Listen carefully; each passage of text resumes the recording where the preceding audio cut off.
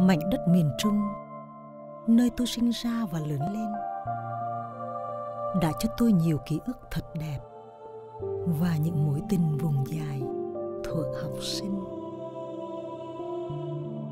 Cô ơi, bạn bè ơi,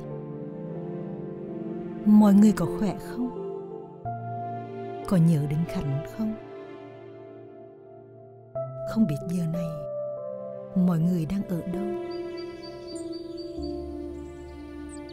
Ở nơi phương xa, Khánh luôn mong cô và các bạn có thật nhiều sức khỏe, hạnh phúc, an vui. Mong làm sao có ngày chúng ta lại được gặp nhau.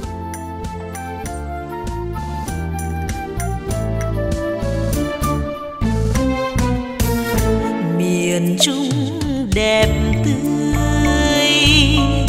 đã vương tình tôi. Năm tháng trôi qua rồi nhưng sắc hương khung đời làm nguồn thơ yêu hoài.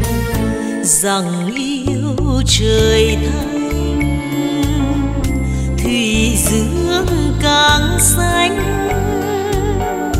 Yêu khói ấm xây thành chim bướm người dựng liều tranh nhà trang sông lời khi đà lạt hoa tươi nghiêng màu bên suối. Thêm nước sông hương nhuộm thắm đôi bờ, tiếng hát cô lái đò chiều mến khoan họ miền trung ngàn nơi còn bao niềm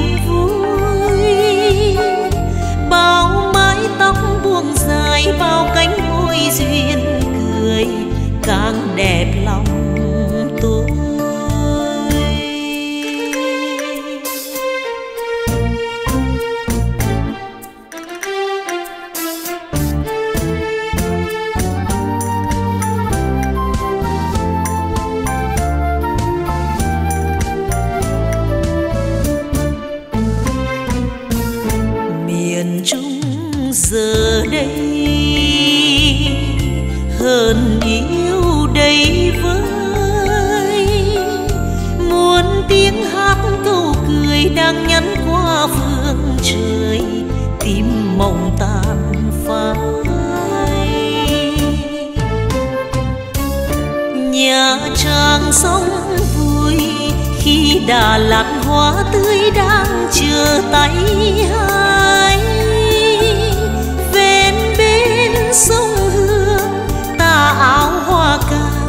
Chiếc nón thơ trắng ngà còn lắm mặn mà thì sao người quên?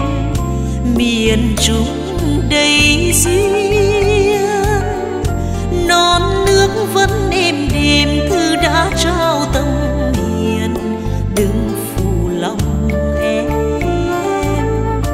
non nước vẫn êm đềm thư đã trao tâm